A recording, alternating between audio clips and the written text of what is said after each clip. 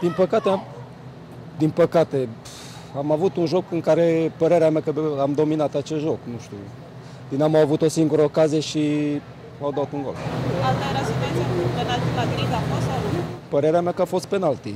În plus mai a avut Grig o ocazie clară de a marca și alt era rezultatul. Pe total, care crezi că era rezultatul echitabil în seara asta, după părerea ta?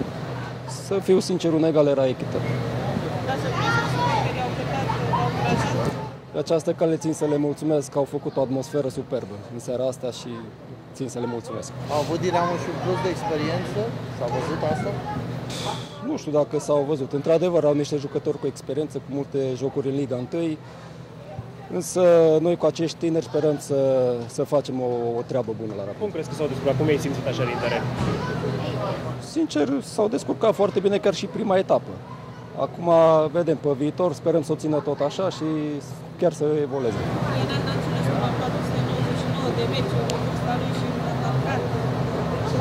Este o legendă, vie încă și este un fotbalist de, de calitate. Cât de greu e de ținut? E greu, e un fotbalist cu experiență, e foarte greu. Petrolul a avut și 2 meci mai bun. Va fi un alt derby, sperăm să-l câștigăm. Sunt convins că o să-l câștigăm, pentru că dacă vom juca la fel de bine cum am făcut-o în seara asta, vom câștiga. Am văzut, Afectează și alte lucruri, faptul că nu jucați pe prime, că nu știți dacă aveți patroni sau nu. Am mai jucat pe prime de vreun an jumate. Nu ne afectează. Noi ne gândim să jucăm noi bine, să fim sănătoși și până la urmă va fi totul ok. Maria Rada ce zice? Uh, Dâns, cu dânsul încă n-am vorbit. Probabil mâine vă- la ProRapid vom avea o discuție mare. Părerea mea că a fost bine, dar din păcate am pierdut.